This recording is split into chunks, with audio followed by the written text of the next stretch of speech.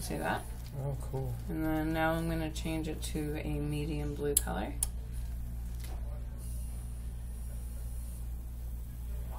And now it's going to get lighter blue.